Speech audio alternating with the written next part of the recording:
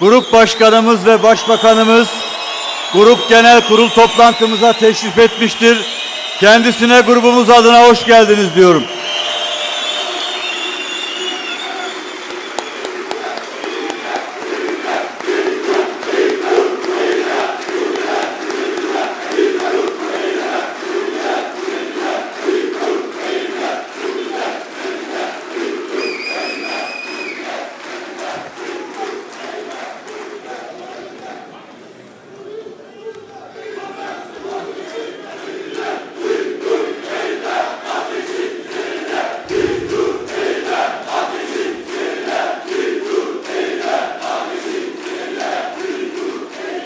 Haftalık olağan grup genel kurul toplantımızın 24. dönem 4. yasama yılı 12. birleşimini açıyorum.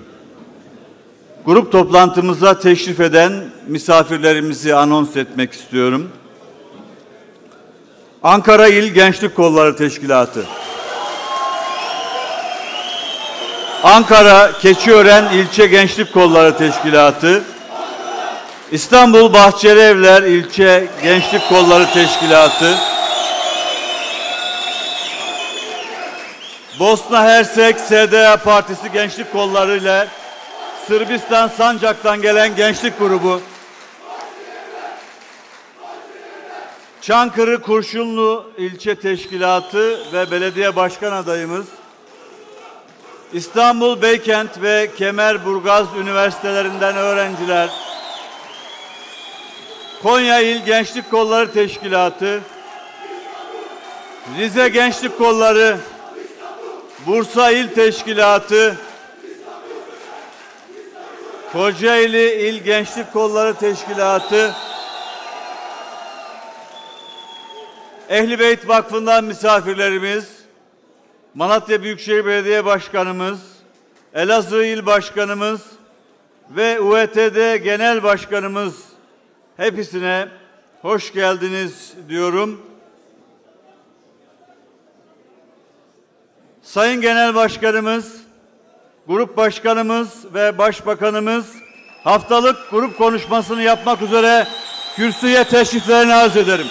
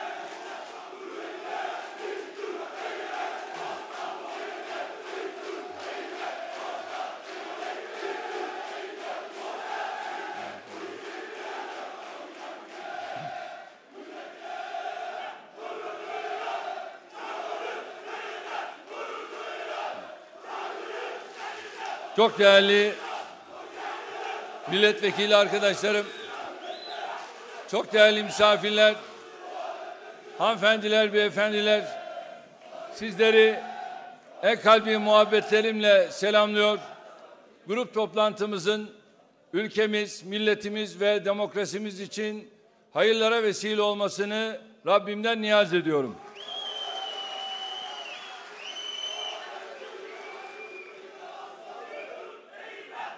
Grup toplantımıza katılan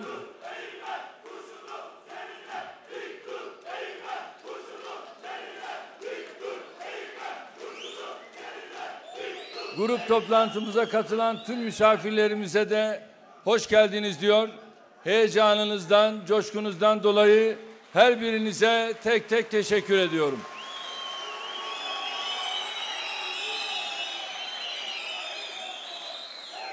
Değerli milletvekili arkadaşlarım, yarın yani 26 Şubat'ta Hocalı katliamının üzerinden 22 yıl geçmiş olacak. 26 Şubat 1992'de Ermenistan kuvvetleri Karabağ'da maalesef insanlık dışı katliamlara imza attılar. Bu katliamların en büyüğü ve en trajik olanı Hocalı kasabasında yaşandı. 106'sı kadın, 83'ü çocuk, tam 613 kişi şehit edildi. Şunu burada bir kez daha ifade etmek isterim ki Karabağ'da özellikle de Hocalı'da yaşanan katliamda hayatını kaybedenler Azerbaycan'ın evlatları olduğu kadar bizim de evlatlarımızdır. Azerbaycan'ın Azeri kardeşlerimizin yaşadığı büyük acıyı bizler de yüreklerimizde yaşıyor. Hocalı'da katledilen şehitlerimizi bir kez daha rahmetle anıyoruz. İstanbul'da Hocalı katliamını protesto eden bir grubun ırkçı sloganlar atmasını da esefle kınadığımızı burada vurgulamak istiyorum. Kan kanla temizlenemeyeceği gibi ırkçılığın panzehri de asla ırkçılık değildir. Karabağ'ın meşru davasına zarar verecek ırkçı girişim ve söylemlerden herkesin özenle sakınması gerektiğini hatırlatmak istiyorum. Değerli arkadaşlarım, iki gün sonra 27 Şubat'ta bir başka mahzun yıl dönümüne daha ulaşacağız. Eski başbakanlarımızdan değerli bir devlet adamı, değerli bir siyasetçi ve bilim insanı Profesör Doktor Necmettin Erbakan 3 yıl önce bir 27 Şubat günü Hakk'a yürümüştü. Vefatının üçüncü seneyi devriyesinde merhum hocamızı da rahmetle yad ediyor. Allah ondan razı olsun, mekanı inşallah cennet olsun diye dua ediyoruz. Çok değerli milletvekili arkadaşlarım, değerli misafirler, bu hafta Cuma günü bir meşhum tarihin, bir kara günün, demokrasi tarihimizdeki kara bir lekenin yani 28 Şubat müdahalesinin 17. yıl dönümüne ulaşıyoruz. 28 Şubat postmodern tarzda sadece siyaseti, sadece seçilmişleri hedef alan darbe girişimi olarak değil, vatandaşımıza, memurlara, iş dünyasına, öğrencilere yaptığı zulümle de her zaman hatırlanacak. 28 Şubat müdahalesi özellikle de ekonomiye vurduğu darbeyle 2001 krizinin oluşumuna hazırladığı zeminle yetimin hakkını, milletin istikbalini, Türkiye'nin kazanımlarını heba eden bir girişim olarak hafızalardan hiç silinmeyecek. Burada şu noktanın özellikle üzerinde durmak istiyorum. 28 Şubat müdahalesiyle ilgili açılan dava ne yazık ki meseleyi sulandırmaya, ciddiyetini zedelemeye, 28 Şubat'ı küçümsemeye doğru gidiyor. Ancak yargıdan daha önce aziz milletimiz bu müdahaleye ilgili zaten kararını vicdanında verdi. Sorumluları gördü ve yine vicdanında onların hepsini mahkum etti. Meselenin maalesef üzücü tarafı şudur. 28 Şubat'ta milletimize bu zulmü yapanların normal şartlar altında aslında sokağa dahi çıkacak yüzlerinin olmaması gerekir. Millete bu ağır baskıları yapanların, ekonomiye bu ağır darbeyi vuranların, Türkiye'ye çok ağır bedeller ödetenlerin en azından kendi vicdanlarında kendilerini sorgulayıp aynaya baktıklarında yüzlerinin kızarması gerekir. Ancak özellikle bugünlerde işte bu kişilerin, bu çevrelerin bırakın yüzlerinin kızarmasını, bırakın sokağa çıkmaktan haya etmelerini utanmazca yeni bir darbe girişimine omuz verdiklerini görüyoruz. Aynı medya, aynı manşetlerle bir kez daha demokrasiye karşı saldırıya geçti. Aynı yazarlar, aynı yüzsüzlükle, aynı edepsizlikle bir kez daha milli iradeyi aşağılamaya başladı. 28 Şubat'ın o malum işveren örgütleri tam bir pişkinlik içinde. İşte bu son darbe girişimine de destek vermeye, Türkiye'ye yeni bedeller ödetecek adımlar atmaya başladı. Bu ülkede defalarca darbe yaşamış, her birinde darbenin yanında yer almış. Darbelere verdikleri destekler tarihlerine kara bir leke olarak yapışmış partilerde bir kez daha eğilmeye, bir kez daha darbeden medet ummaya başladı. Şimdi bakın değerli arkadaşlarım. Hafta sonunda il mitinglerimizde dile getirdiğim bir konuyu burada tekrarlamakta fayda görüyorum. 1946 yılından bugüne kadar Türkiye'de siyaset merkezli tartışmaların neredeyse tamamı Türkiye'yi kim yönetecek sorusu etrafında şekillenmiştir. Türkiye'de tam 68 yıldır işte bu tartışılıyor. Türkiye'yi kimin yöneteceği, kimin idare edeceği tartışılıyor. Esasen Gazi Mustafa Kemal 22 Nisan 1920'de Türkiye Büyük Millet Meclisi'nin açılacağını duyurduğu telgrafta yani işin en başında Türkiye'yi kimin yöneteceğini tartışmaya mal bırakmayacak şekilde ortaya koymuştu. Gazi Mustafa Kemal 23 Nisan 1920'den itibaren Türkiye Büyük Millet Meclisi'nin tüm sivil ve askeri makamların üzerinde yegane karar merci olduğunu söylemişti. Yani Türkiye'yi seçip Türkiye Büyük Millet Meclisi'ne gönderdiği vekiller eliyle milletin yöneteceği 23 Nisan'da karar altına alınmıştır. 1946 hatta 1950 yılına kadar maalesef bu karar uygulanmadı. CHP seçimlere tek parti olarak girdi. İki kez çok partili seçim denendi. Ancak açık oy gizli tasdifle kazanan yine idare fırkası oldu. Kazanan yine CHP oldu. Merhum Menderes'in 1950'de iktidara nasıl yürüdüğünü lütfen unutmayın. Yeter bu şekilde yola çıkmıştı merhum Menderes. Yeter söz milletindir. Evet 1950'den itibaren milletin hür iradesi sandığa yansımış, milletin tercih ettiği parti hükümet görevini üstlenmiş, demokrasi millet iradesi olarak tecelli etmeye başlamıştı. 27 Mayıs 1960'ta 27 Mayıs 1960'ta birileri çıktı. Ne dediler? Türkiye'yi millet yönetemez. Biz yöneteceğiz diyerek yönetime el koydular. 12 Eylül'de aynısını yaptılar. 28 Şubat'ta aynısını yaptılar. Her bir müdahalede milletin elinden yetkisini aldılar. Türkiye'nin yönetimine el koydular. Bakın burada şu hususun altını özellikle çiziyorum. Yönetime el koyanlar iktidarlarını başka çevrelerle paylaştılar. Kimdi bu çevreler? İş dünyasıyla paylaştılar. Medyayla paylaştılar. Belli sivil toplum örgütleriyle paylaştılar. Elitlerle, seçkinlerle, çetelerle paylaştılar. Cumhuriyet Halk Partisi ile diğer statüko partileriyle paylaştılar. Bir tek kesimle paylaşmadılar. İktidarı milletle asla paylaşmadılar.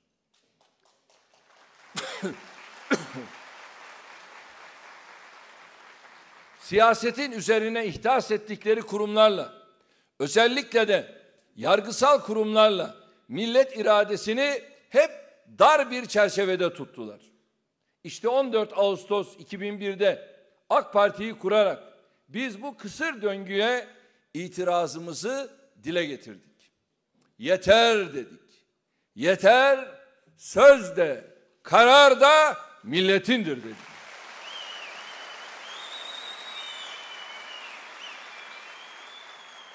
Biz 14 Ağustos 2001'de AK Parti'yi kurarak Türkiye'yi kim yönetecek sorusuna kesin ve net bir cevap verdik.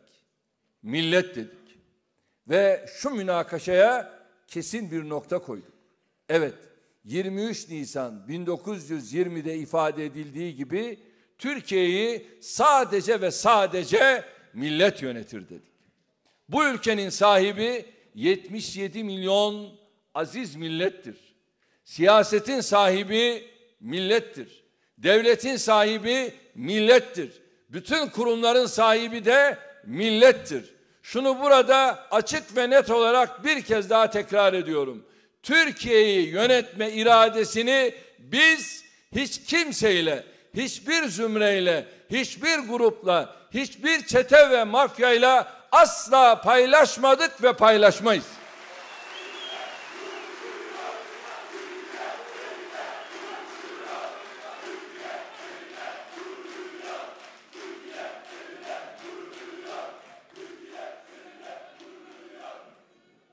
Türkiye'yi yönetme iradesini hiçbir sermaye grubuyla, hiçbir medya patronuyla, hiçbir örgütle bugüne kadar paylaşmadık. Bundan sonra da paylaşmayız. AK Parti ile birlikte millet bir kez daha iktidara gelmiştir. AK Parti ile birlikte millet bir kez daha yönetime el koymuştur. Hiç kimse milletten bu iradeyi alamaz. Hiç kimse milletin bu iradesine ortak olamaz, paydaş olamaz.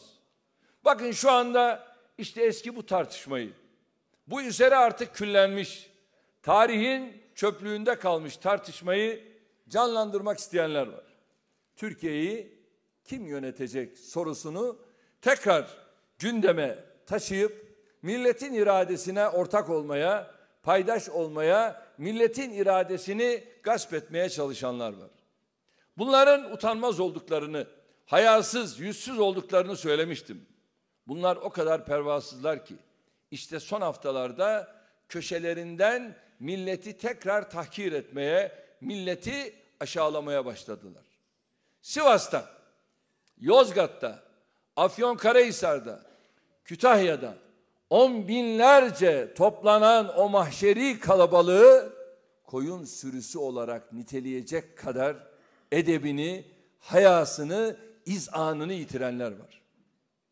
Birileri çıkmış şunu söylüyor. Ya diyor biz haftalardır yolsuzlukları dile getiriyoruz.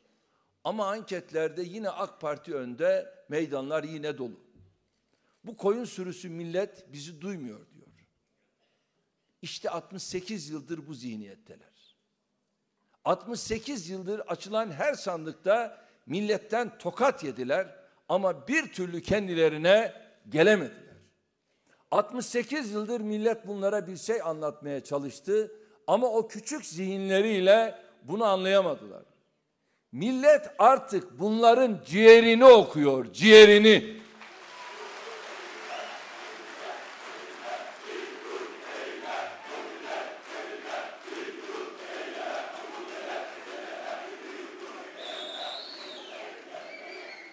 Attıkları her manşetteki maksatlarını milletten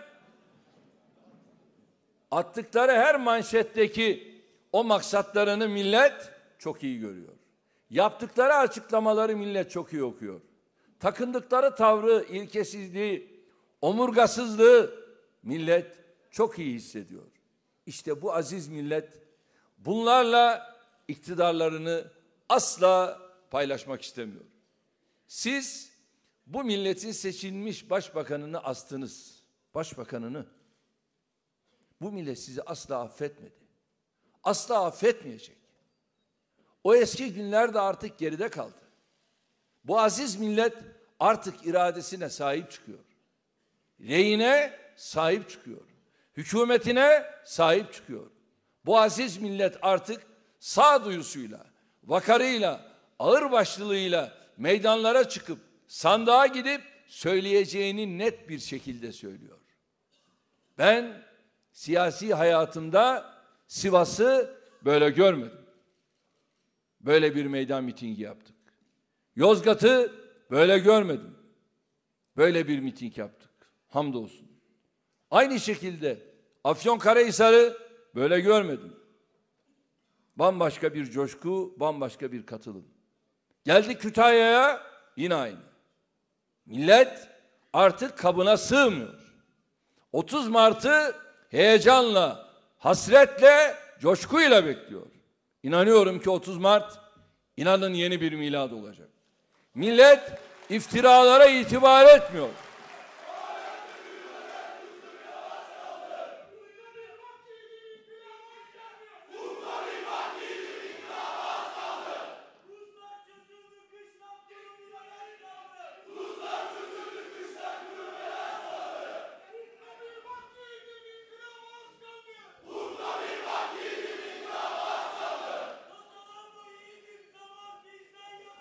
Gençler, gençler, millet bunların hakaretlerine itibar etmiyor.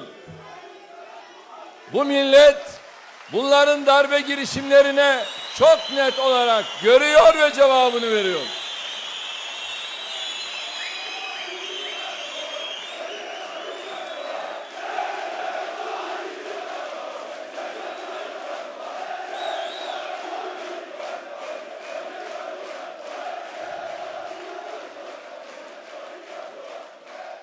Bugün olduğu gibi işte bugün olduğu gibi millet hükümetine, partisine sımsıkı sahip çıkıyor. Dikkatinizi çekiyorum değerli arkadaşlar. 17 Aralık komplosu tam anlamıyla millet iradesini gasp etme komplosudur.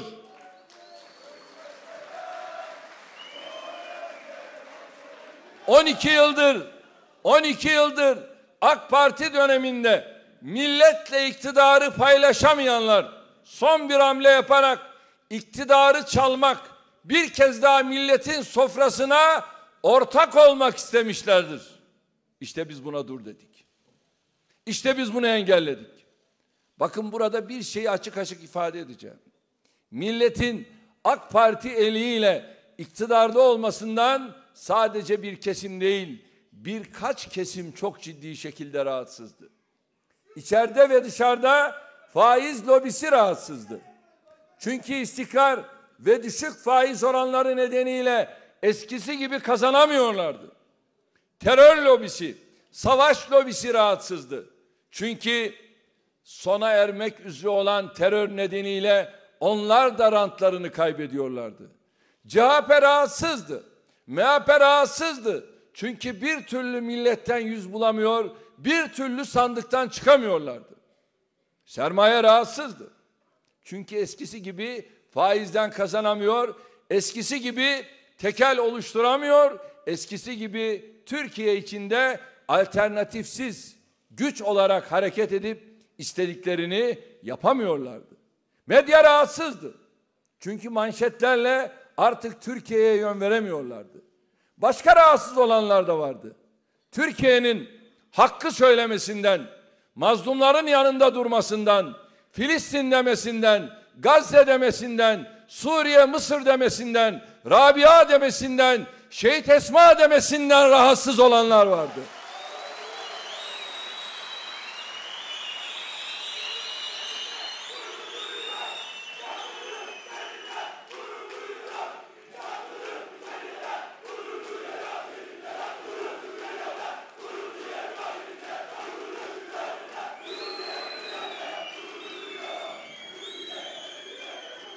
Milletin iktidarda olmasından rahatsız olan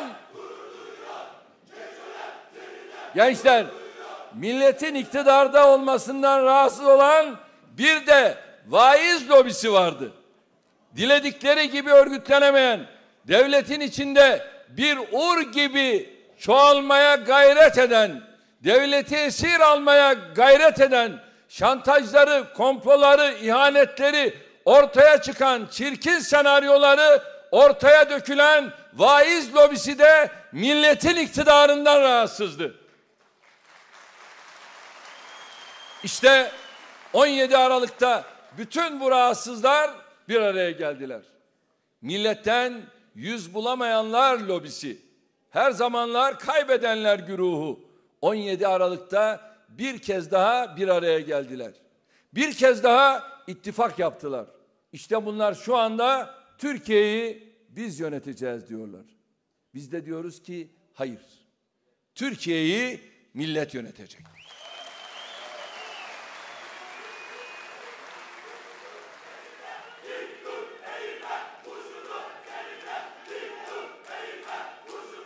var olduğumuz sürece var olduğumuz sürece nefes alıp verdiğimiz sürece milletin iradesini bunlara teslim etmeyecek milletin iktidarını asla bunlarla paylaşmayacağız. 23 Nisan 1920'de verilen ahdi, oradaki şuuru, oradaki hissiyat ve kararlılığı canımız pahasına yaşatmaya devam edeceğiz. Kardeşlerim, kardeşlerim, gençler, bildiğiniz gibi dün akşam saatlerinde kendi kurguladıkları dublajını da kendilerinin yaptığı bir piyesi servis ettiler. Bakın ben haftalardır bir çağrıda bulunuyorum. Eteğinizde ne varsa dökün diyorum. Elinizde ne varsa çıkarın diyorum. Ama bunlar gidiyor alçakça, hayasızca, edepsizce montaj yapıp bunu servis ediyorlar. Ya uydurun da, uydurun da, yani uydurmanın da bir ahlakı, bir edebi var. Bu kadarı da olmaz. Şimdi bu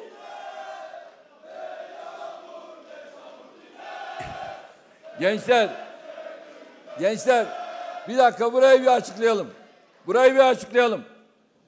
Şimdi şurada bir hafta on gün içerisinde onların karşıtlarını aynı şekilde biz de bu teknolojiden hareketle sizlere izleteceğiz. Kılıçdaroğlu meclisi izletiyor ya. Aynısını. Farklı bir şekilde biz de sizlere izleteceğiz. Teknolojinin nereye geldiğini görmeniz bakımından bunlar çok önemli. Senaryo yazmak zor bir şey değil. Bunlar yapılır. Dün Başbakanlıktan gereken açıklama yapıldı. Bugün de buradan söylüyorum. Yapılan Türkiye Cumhuriyeti'nin başbakanına alçakça bir saldırıdır. Bakın altını çiziyorum. Recep Tayyip Erdoğan'a değil, AK Parti'nin genel başkanına değil, bu Türkiye Cumhuriyeti'nin başbakanına yapılmış haince bir saldırıdır. Biz bunu da kimsenin yanına bırakmayız ve bırakmayacağız.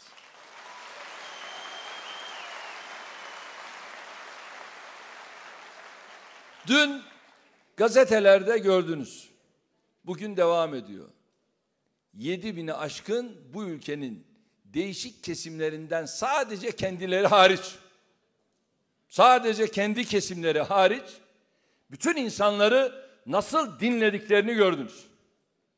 Değerli arkadaşlar, bunların hepsi şantaj dosyalarıdır. Vakti, saati geldiğinde bu şantajlar hemen o insanların karşısına çıkarılsın diye hazırlanmış dosyalar. Şimdi Cumhuriyet Halk Partisi çok büyük bir ihtimalle bugün dün akşamki montajı gerçekmiş gibi lanse edecek. Bu montaj üzerinden dedikodu siyaseti yapacak. Belki onu da gelip kendi grup toplantısında izletecek. Buradan peşinen ifade ediyorum. Ey CHP, siz kendi partinizde kaset siyaseti yapabilirsiniz. Siz kendi partinizi kasetle tanzim edebilirsiniz. Siz kasetle genel başkan gönderip kasetle genel başkan olabilirsiniz veya getirebilirsiniz. Ama sizin kaset siyasetiniz AK Parti'ye sökmez ve sökmeyecek.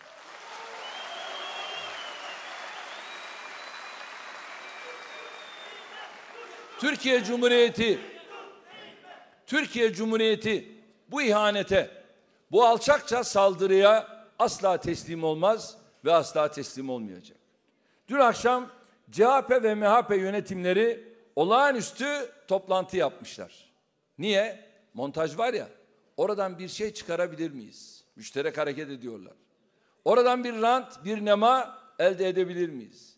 Sandıktan çıkamıyoruz. Darbe de olmuyor. Bari bu okyanus ötesinden atılan yemle durumu idare edebilir miyiz? Aç tavuk rüyasında görür biliyorsunuz. Dar ambarında görürmüş ya kendini. Bunlar şimdi kendilerini darı ambarında görüyorlar. Avuçlarını yalarlar, avuçlarını. Bizi buraya bizi buraya millet getirdi ve sadece sadece açık söylüyorum millet götürür. Kardeşlerim biz montaj kasetlerle milletin emanetini yere düşüreceğimizi zannedenler de ancak ham hayalle yetinir. Buradan şunun da altını çiziyorum. Daha önce de defaatle ifade ettim. Bugün de söylüyorum. Biz bu gündeme teslim olmayacağız. Aziz milletimin burayı özellikle dinlemesini rica ediyorum. Bütün iddialara, bütün iftiralara, tüm ithamlara tek tek cevap veririz. Vakti zamanı geldiğinde cevabını da vereceğiz. Süreç zaten akla karayı ortaya çıkartıyor. Yaşadığımız süreç oynanan oyunu, kurulan tuzağı, yapılmak istenen itibarsızlaştırma operasyonunu zaten deşifre ediyor. Tekrar söylüyorum. Cevabını veremeyeceğimiz hiçbir iddia yok. Ama ne ben ne AK Parti teşkilatı bu gündem değiştirme tuzağına düşmeyecek. Bunların gündemine teslim olmayacağız. Eğer bunların gündemine teslim olursak bunların kirli montajlarıyla, kirli tuzaklarıyla uğraşmaktan millete hizmet üretemeyiz. 30 Mart'a kadar bunları hiç umursamayacağız. Milletim şunu bilsin. Bu saldırı Recep Tayyip Erdoğan'a yapılan bir saldırı değildir. Bu saldırı AK Parti Genel Başkanı'na yapılan bir saldırı değildir. Bu saldırı Türkiye Cumhuriyeti'ne ve onun başbakanına yapılan bir saldırıdır. Bugün eğer buna boyun eğersek bizden sonra gelecek tüm başbakanlara, tüm bakanlara Türkiye siyasetinin geleceğine haksızlık yapmış oluruz. Merhum Menderes'i idam ederek ondan sonra gelen tüm başbakanlara bunlar korku salmak istediler. Hiçbir şeyden korkumuz yok. Hiç kimseden korkumuz yok. Hiçbir ülkeden, hiçbir ülkede kurulan tezgahtan, tuzaktan, hiçbir hainden korkumuz yok.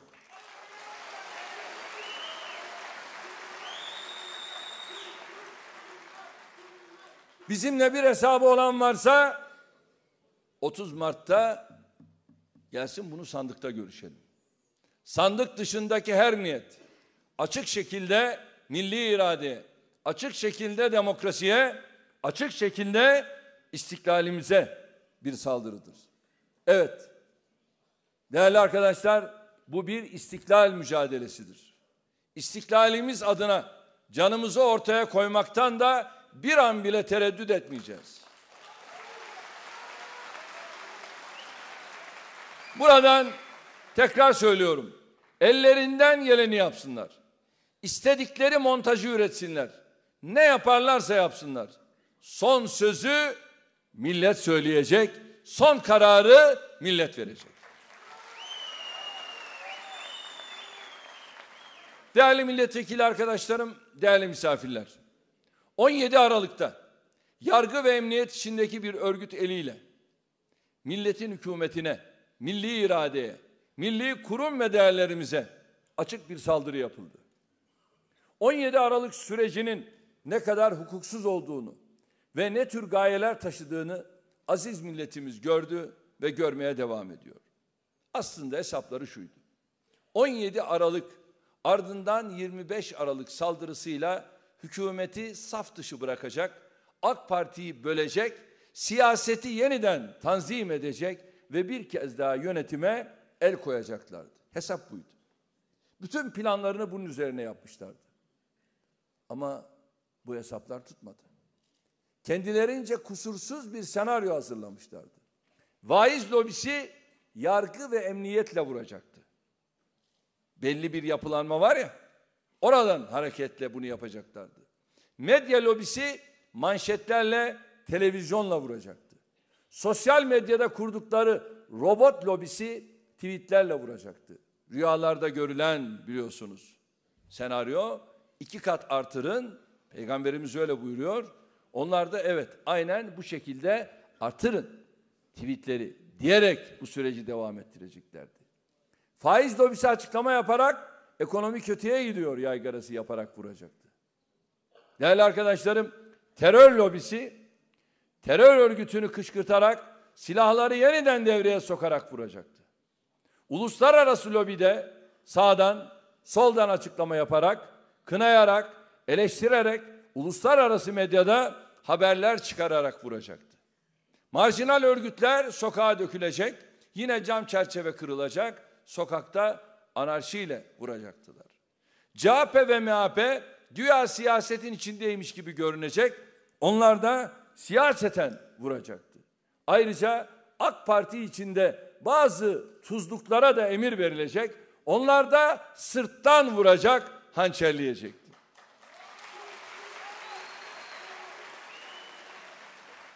Kendilerince planları kusursuzdu. Böylece 17 Aralık'ta büyük bir heyecanla, büyük bir umutla harekete geçtiler. Herkes rolünü oynadı. Herkes kendisine yazılan senaryoyu uyguladı. Ama bir şeyi unuttular. Hep söylüyorum ya. Onların bir hesabı varsa milletin de bir hesabı var. Onların bir tuzağı varsa Allah'ın da bir tuzağı var.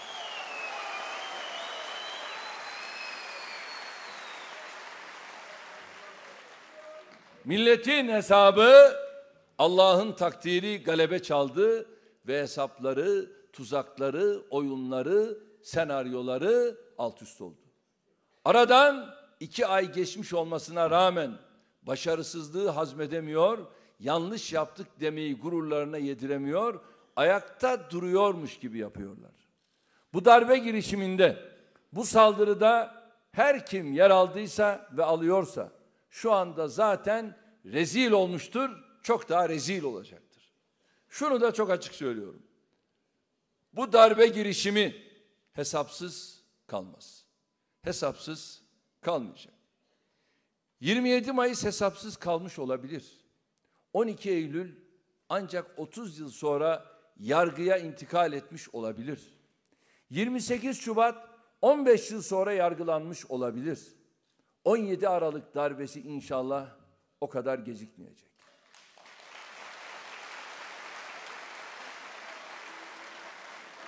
Önce millet, sonra yargı bu darbe girişiminin hesabını mutlaka soracaktır. Şimdi bakın değerli arkadaşlarım. Dün iki gazetede tarihimizin en büyük dinleme skandalı biliyorsunuz deşifre edildi. Bir tek dosya içinde her görüşten, her fikirden, her siyasi partiden kendileri hariç 2287 kişiyi dinlemişler. Bunların bir kısmı defaatle dinlenmiş. Dikkatinizi çekiyorum. Bu liste sadece bir dosyaya ait. Buna benzer daha onlarca dosyanın, daha binlerce dinleme klasörünün olduğu tahmin ediliyor. Bakanlarımızı, milletvekillerimizi, genel başkan yardımcılarımızı, danışmanlarımızı, bürokratları, herkesin ailesini, parti genel merkezlerini, STK'ları, gazetecileri, yazarları yıllarca dinlemişler. Üç yıl asgari. Birbiriyle hiç alakası olmayan isimleri sözde bir terör örgütü şüphesinin altına koyup yıllarca insanların özel hayatlarını takip etmişler. Değerli kardeşlerim, bunların çoğu hukuksuz. Hukukta yeri yok. Böyle bir dinleme. Tamamen skandal. Hukuksuz olarak başlamış, hukuksuz olarak devam etmiş. En temel hukuk ilkeleri, hukuk usulü çiğnenmiş. Eğer HSYK son değişimi İstanbul'da yapmamış olsaydı bunlar meydana çıkmayacaktı. Bu değişim neticesinde bu defa önlerinde bu klasörler, bu dosyalar görününce gerçek ortaya çıktı. Geçmişte CHP ve MHP işte bu hukuksuz kayıtlarla şantaj yaptılar. Ama ne CHP ne MHP bunun idrakinde olmadı. Şu anda bunu bize yapıyorlar. E zaten ben dinleniyordum. Daha önce bunu söyledim. Sayın Cumhurbaşkanımızla ilgili de söyledim. Ama nedense birileri bunu anlamamakta direndi. E, hükümetsiniz çözün. hükümetsiniz çözün dediğiniz kişiler şu anda bu devletin içerisine işte devletin içinde memur olarak görev yapmaya başlamış kişiler. Biz niye internet yasasını getirdik önünüze? İşte bunun için getirdik. Niye Milli İstihbarat Teşkilatı ile ilgili düzenlemeyi şu anda huzurunuza getirdik? İşte bunun için getirdik. Eğer bunlar olmazsa bu düzenleme olmaz. İşte en son TÜBİTAK olayı. Aynen bu durumda. Bakın TÜBİTAK'ta yeni bir yapılanmaya bakanımız şu anda gidiyor ve çok enteresan devletin kriptolu telefonlarını bile oradan dinliyorlar. Bu kadar bunlar alçak. Bu kadar. Yani bir cumhurbaşkanı başbakanıyla konuşamaz. Başbakan bakanlarıyla konuşamaz. Konuştuğu anda bunlar dinleniyor. Nerede? Orada. Merkez orada. Ve bakın değişiklik yapıldığı anda hopladılar. Hemen kendi gazeteleriyle bunu farklı yere çekmeye başladılar. Niye? Çünkü ucu oraya dayanıyor. Bunlarla ilgili hepsiyle ilgili yasal süreci işleteceğiz. Bunların izini süreceğiz. Bunlar bu şekilde kalamaz. Kaldığı sürece bu ülkede inanın ailelerin mahremi diye bir şey kalmaz. Devletin mahremi diye bir şey kalmaz. İşte bu hukuksuz kayıtlarla binlerce kişiye bunlar bu şantajı yapabilirler. Yine yapabilirler. Daha henüz durmuş değiller. Doğrudur. Eğer 17 Aralık darbesi gerçekleşseydi belki de bütün bu isimleri toplayıp içeri atacaklardı. Dün o gazetelerde çıkan isimlerin belki de kahir ekseriyeti şu anda içeride tutuklu olacaktı. Çünkü mekanizmayı buna göre çalıştırıyorlar. Şimdi dün gün boyunca darbe medyasından çıt çıkmadı. Çıktı mı? Çıkmadı. 17 Aralık darbesinin figüranı olan gazetecilerden, yazarlardan çıt çıkmadı. CHP ve MHP bu büyük skandal karşısında çıkıp da ciddi bir iki cümle bile kuramadı. Neden susuyorlar? Neden konuşmuyorlar? Bu dinlemeleri yapanlara, bu dinlemelerin arkasındaki paralel örgütle neden bir çift söz söyleyemiyorlar? Üç maymun oyununu daha ne kadar sürdürecekler? Bakın dün bazı gazetelerin internet sayfalarında tarihin en büyük dinleme skandalı ile ilgili bir tek satır haber yer almadı. Ama bu dinlemelerin arkasındaki paralel yapının elebaşı bir açıklama yaptı. Bütün o gazeteler manşetten haber verdi. Paralel yapının elebaşı çıkmış biz yapmadık diyor. Ya kapalı kapıların ardındaki veya ardındakini duyduk diyen siz değil miydiniz? Birilerini takip eden, Alufte'ye gideceğini öğrenen, orada bir komplo sezen, sonra o kişiyi uyaran siz değil miydiniz? Elinizde buna benzer başka vakaların olduğunu itiraf eden siz değil miydiniz? Bizim dışımızda bir kişi daha çıkıp, bir siyasi parti daha çıkıp, sen bu kapalı kapıların ardındakini nasıl duyuyorsun? Sen bu haberleri nasıl alıyorsun? Sana bu bilgiyi kim nasıl ulaştırıyor diye sordu mu? Veya sormayacak mı? Buradan ben şimdi yargıya sesleniyorum. Bu suç itirafını daha ne kadar duymazdan geleceksiniz? Bu röntgenciliğin hesabını daha ne kadar erteleyeceksiniz? Ben şimdi CHP'ye de sesleniyorum. Senin genel başkanınla ilgili o ahlaki olmayan görüntüleri verenler de bunlar. Daha ne kadar buna sessiz kalacaksınız? Sayın Baykal sana da sesleniyorum.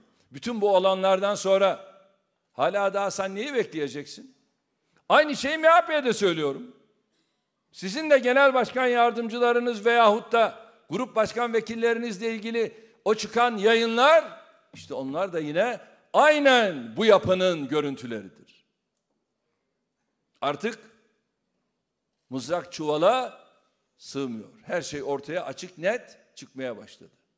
yargı içinde bu paralel örgüte tabii ben burada yargının tümünü kastetmiyorum. Dürüst olanları kastetmiyorum. Bir kısım yargı diyorum. Bu paralel örgüte, bu çeteye karşı yüreklice mücadele verecek, bu hukuksuzluğun, bu dinlemelerin hesabını soracak örgüt liderlerinden değil, milletinden emir alan hakim ve savcıların olduğunu biliyorum ve onlara güveniyorum.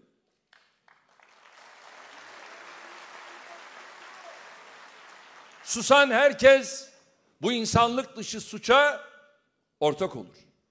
Dinlendiğini bile bile bu alçakça skandala sessiz kalan bu skandalın paydaşı olur. Ben bu ülkede hakimlerin, savcıların dinlendiğini de biliyorum. Kendileri de biliyor. Çünkü onlara da kumpas yaptılar. Onları da istedikleri istikamette kullanmak üzere zaman zaman şantajda üzerlerine gittiler. CHP ve MHP susarak, sessiz kalarak, korkarak işte bu paralel örgütün vagonu olarak bir bilinmeze, bir uçuruma doğru hızla ilerliyorlar. Biz susmayacağız. Biz korkmayacağız. Tekrar ediyorum. Topla, tüfekle, silahla, işgalle alınamayan bu güzel ülkeyi dinleme skandallarına, tehdide ve şantaja teslim etmeyeceğiz. Allah'ın izniyle, milletimizin desteğiyle bu paralel örgütün, bu paralel yapının bütün rezilliklerini tek tek ortaya dökecek, bunları da bunlarla birlikte yürüyenleri de sokağa çıkamayacak kadar mahcup hale getireceğiz.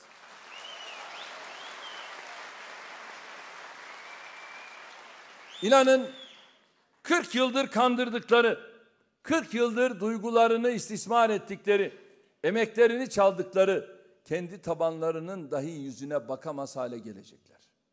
Müslümanlara ve kendi ülkelerine yaptıkları büyük ihanetten dolayı inanın aynaya bakamayacak, kendi yüzleriyle yüzleşemeyecek bir duruma düşecekler. Milletin müsteri olsun. Dinlenen tüm vatandaşlarım da müşteri olsun. Biz yeni internet yasasını tekrar ediyorum. İşte bu şantajın, bu tehdidin önüne geçmek için çıkardık. Niyetimiz buydu. Ama bunu ne CHP anladı, ne MHP, ne MDP anladı. Bunların yayınlanmasına, dağılmasına, bunların insanımızı rencide etmesine müsaade etmeyecek bu skandaldan ülkemizi yine biz düzlüğe çıkaracağız.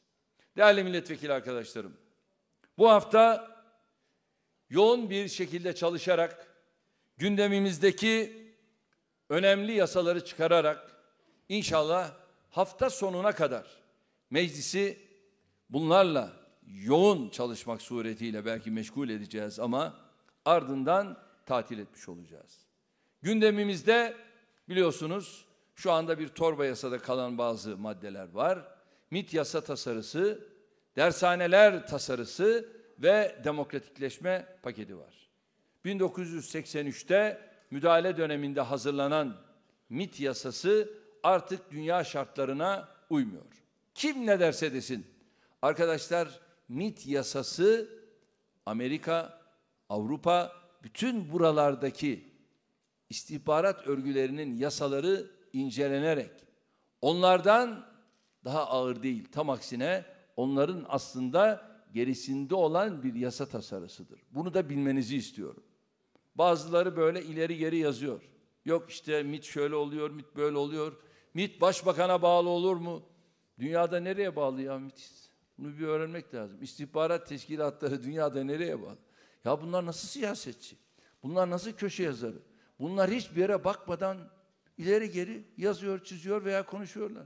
Ya dünyada MIT dediğiniz örgüt ya devlet başkanına bağlıdır ya başbakana bağlıdır. Bunun dışında bir başka yere bağlı değildir. Tamamıyla bunların dışında bağımsız değildir. Bir devlet başkanının, bir başbakanın MIT gibi bir örgütü olmayan devlet devlet değildir ya. Böyle bir şey yok. Bunlar bu kadar cahil ya. Bu kadar zavallı bunlar. Böyle bir şey olabilir mi? Ve biz büyük Türkiye'nin ihtiyaçlarını karşılamakta yetersiz kalıyordu. Onun için MIT'i güçlendirmemiz gerekiyordu. 2023 hedeflerimiz, geniş ufkumuz ve vizyonumuz çerçevesinde MIT yasasını yeniden ele alıyor, günün ihtiyaçlarını karşılar hale getiriyoruz. Dershaneler konusunda aynı şekilde milletin üzerine, gençlerimizin üzerine adeta karabasan gibi çöken sorunu inşallah ortadan kaldırıyoruz. Ve bununla ilgili adımı istedik ki seçim öncesi atalım ve bu iş artık masamızın üzerinden kalksın. Çünkü bunun içinde de paralel yapının farklı hesapları vardı. Bu hesabın da bir an önce bozulması gerekiyordu. Onun için de bu adımı atıyor ve seçim öncesi bunu bitiriyoruz. Demokratikleşme paketinde de atacağımız adımlarla seçim öncesinde ülkemize nefes aldıracak, ülkemizin yolunu, rotasını aydınlatacak adımlar atıyoruz. Bu çalışmaları tamamlar tamamlamaz da artık sahaya dağılıyor, illerimize dağılıyor, yeni istiklal mücadelemizin sahadaki çalışmalarına başlıyoruz. Benim bu hafta sonu yedi ilim var. Bu yedi ile giderken ben arkadaşlarımızın sadece günü birlik illerine gelmesini istiyorum. Yani ilinde mitingimizi yapacağımız gün ile gelsinler ama onun dışında meclis çalışmalarına devam etsinler. Çünkü mecliste her zaman, her an toplantı yeter sayısıyla, karar yeter sayısıyla biz gümbür gümbür yerimizi almalıyız ki süratle bu işi hafta sonuna kadar burada inşallah bitirelim. Değerli arkadaşlarım gerçekten çok yoğun çalıştınız. Gece gündüz çok büyük emek sarf ettiniz. Tüm saldırılara, şiddetlere, hakaretlere göğüs gerdiniz. Hepsiyle mücadele ettiniz. Eh, demek ki bu çatının altında da herhalde yapı bu. Artık buna da sonuna kadar katlanacağız. İnanıyorum ki aziz milletim sizlerden razıdır. Bizler de sizlerden razıyız. Allah hepinizden razı olsun. Rabbim emeklerinizi karşılıksız bırakmasın, zayi etmesin. 30 Mart'ta Türkiye'nin coşkusunu, sevincini, AK Parti'nin zaferini inşallah birlikte yaşayacağız. Allah yar ve yardımcımız olsun. Yolunuz, bahtınız açık olsun diyorum. Şehirlerimize selamlarımı iletmenizi sizlerden rica ediyorum. Sağ olun, var olun, Allah'a emanet olun. Grup toplantımız sona ermiştir. Grubumuza katılan tüm misafirlerimize teşekkür ediyoruz. Sayın milletvekillerimiz genel kurul bugün saat 15'te başlayacaktır. Saat 15'te genel kurulda hazır olmanızı önemli rica ediyoruz.